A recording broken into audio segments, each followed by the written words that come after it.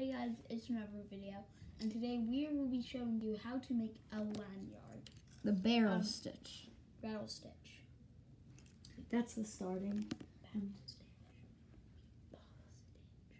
No, this one's the barrel. Oh. And this is what will it look like once you complete all of them until these get too short to do. Okay, so take your starting as we did in the last video. Then take a color, it doesn't matter. Loop it over to this side where like the blue is, like that. And then get the second color, no, the same color. And then loop it over to that side like that. It'll look like this. And then take the blue string, pull it all the way to the end, and get it. So now you want to do over under with these.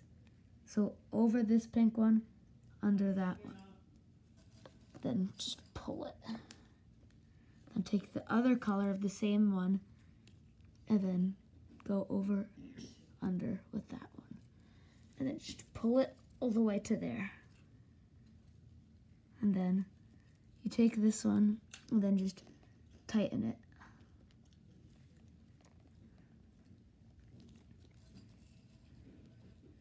And sometimes it will get like a little twisted.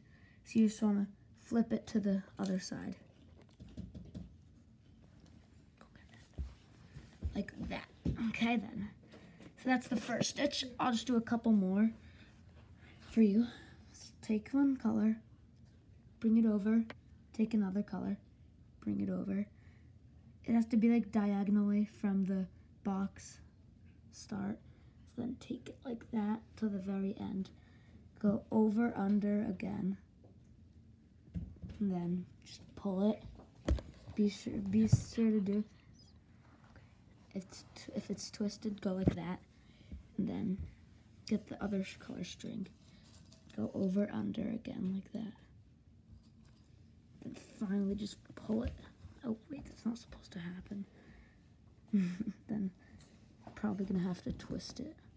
So the first couple of stitches will be hard to do. Just don't get frustrated because they are hard. Okay, so as you can see, it's getting a little twisty. Just gotta keep on doing a bunch more.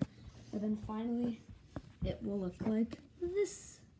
So I hope you guys enjoyed this video. And I'll do another video on how to do the box another day though, because I'm running a little late. Goodbye.